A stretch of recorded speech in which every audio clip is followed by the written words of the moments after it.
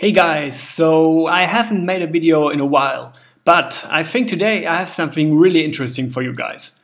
I want to show you an iPhone app that allows you to measure your vertical jump using video analysis. The app is called What's My Vertical and I developed it completely on my own and released it to the App Store yesterday. Alright, so let's take a look inside the app. Once you load the app, you will be greeted by the dunk calculator. This feature allows you to find out how high you really need to jump if you want to make a dunk. Just put in your standing reach and the app tells you the required vertical.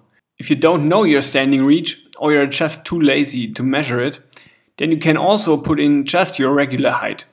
The app will then estimate your standing reach, but of course, this way the results are a little less accurate. Okay, now that you know how high you need to jump to make a dunk, let's find out how high you are jumping right now.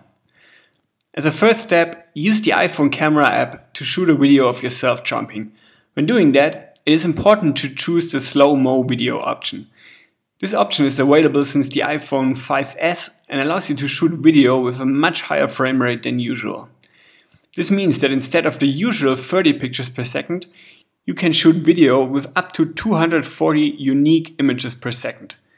This is important because it makes the analysis much more accurate. Once you have recorded the video, you can load it in the app, then press play or use the slider to skip to the jump. And now you look for the last frame where your feet are touching the ground.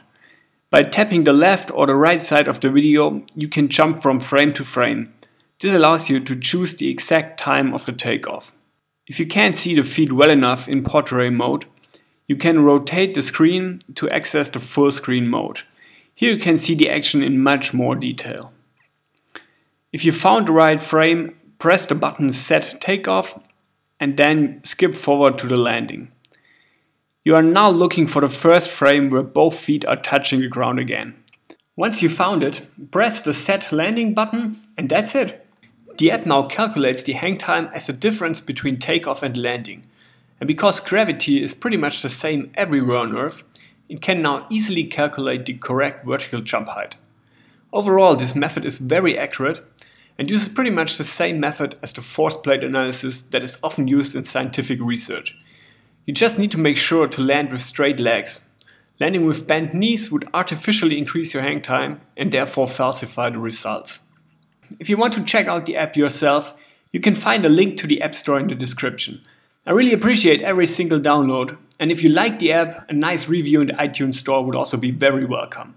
Also, if you have any questions, let me know in the comments. I'll make sure to answer them as quickly as possible.